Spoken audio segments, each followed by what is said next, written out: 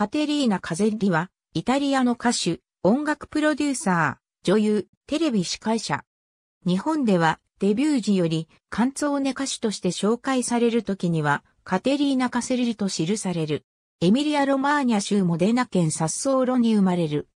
1963年のカストロカーロ、新人コンクールに入賞しデビュー。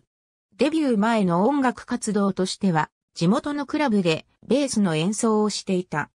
1966年にサンレモ音楽祭に初出場、もともとアドリアーノ・チェレンターノのための楽曲であったネスのミプエギディケア青春に生きるを歌って入賞。デビュー曲となった本曲はゴールド認定を受けた。抜群のスタイルと個性的なファッション、ハスキーな声で一躍スターとなる。金髪のボブのヘアスタイルはゴールデンヘルメットと呼ばれ、彼女のニックネームとなった。1967年には、 Il cammino di ogni speranza 風に消えた恋で、サンレモ音楽祭に連続出場する。1968年には、 The Days of Pearly Spencer・パーリー・スペンサーの日々をカバーした Il volto della vita をヒットさせ、カンタジーロで優勝する。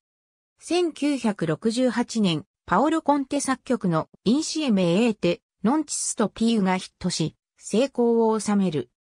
2006年には、ミケーレ・ソアビのネオノワール映画、 Goodbye Kiss のサウンドトラックのための本曲の新バージョンを再録、ダビデ・ディ・ドナテロ賞のベストソングを受賞した。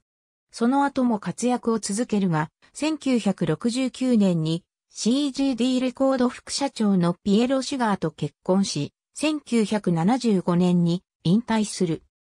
その後は CGD のプロデューサーとしてシュガーレコードを中心に、ギウニ、ルッソ、パオロ・バレッシ、アンドレア・ボチェッリ、ジェラーデナ・トロバート、フィリッパ・ジョルダーノ、ピーコラ・オーケストラ・アビオン・トレイブ、ガゾサ、エリサ、ネグロマロ、マリカ・アヤン、ラファエル・グアラッツィ、ジョバンニ・ココモラを輩出している。1990年のサンデモ音楽祭に久々に出場し、バイサーグンレブ・ノンペンサーレ・チェーテを歌った。